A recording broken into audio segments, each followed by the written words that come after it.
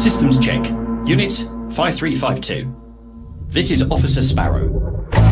You are approaching Mexico City Arcology. Each arcology entrance is equipped with a submolecular scanner to make sure no human enters inside. This is why we are sending you.